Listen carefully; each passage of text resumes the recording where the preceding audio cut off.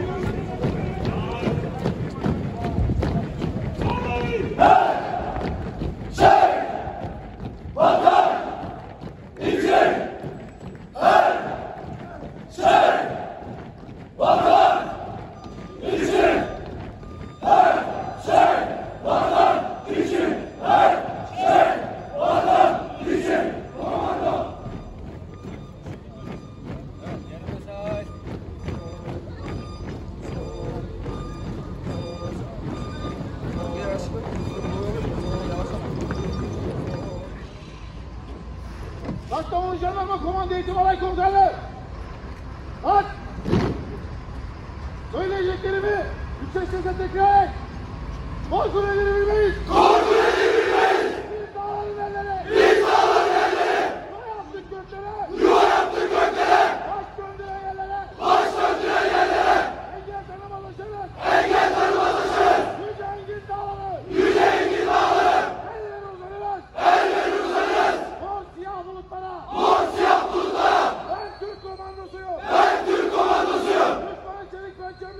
Düşmanı çelik pençemleyeceğiz.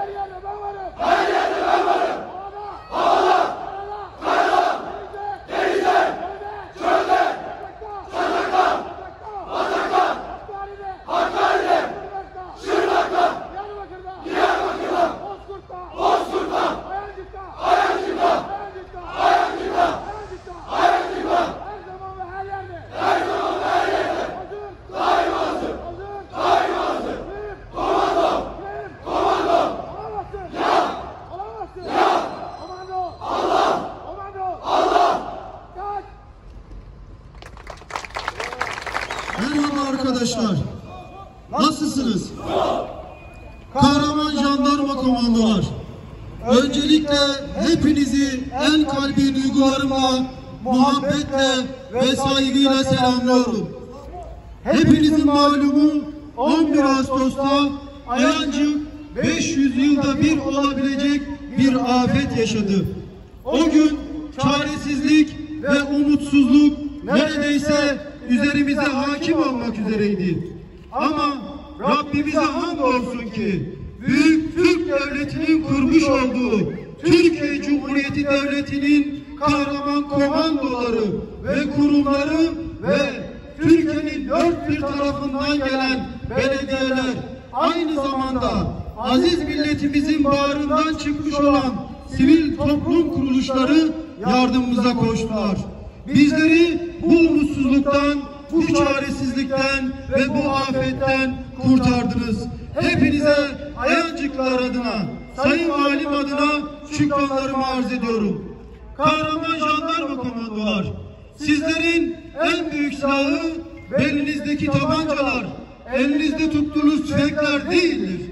Sizlerin en büyük silahı kalbinizdeki Allah'a olan iman ve vatan sevginizdir. Bu iman ve vatan sevgisi gün gelir, eline silah aldırır, cephede düşmanlarla, dağlarda hainlerle çarpıştırır. Gün gelir, uykusuzca sınır hudutlarında nöbet tutturur.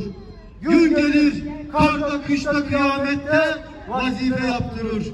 İşte bugün Ayancık'ta olduğu gibi gün gelir, eline kazma kürek kaldırır, çamur temizlettirir. Bizler Ayancıklar olarak kahraman jandarma komandoların kalbindeki Allah'a olan imana ve vatan sevgisine şahitlik ederiz.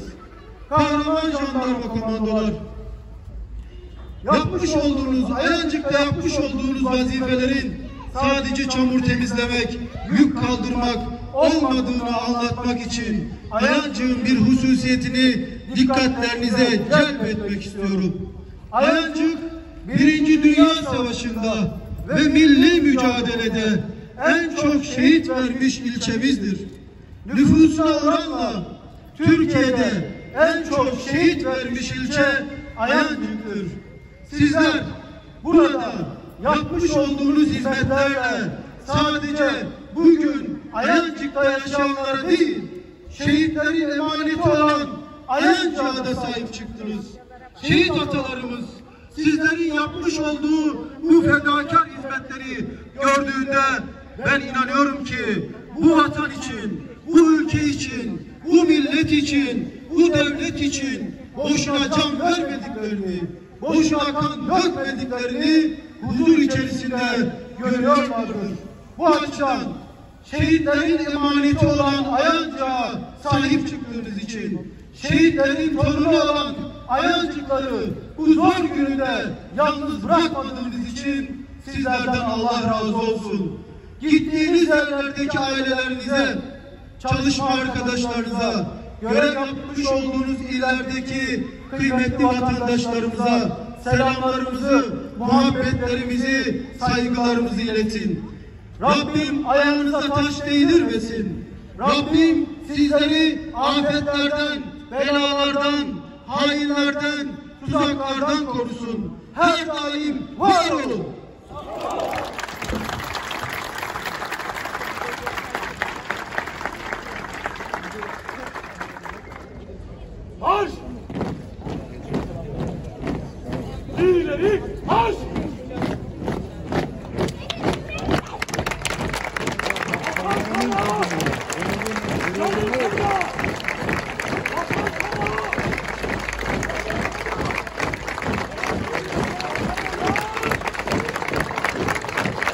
Yay!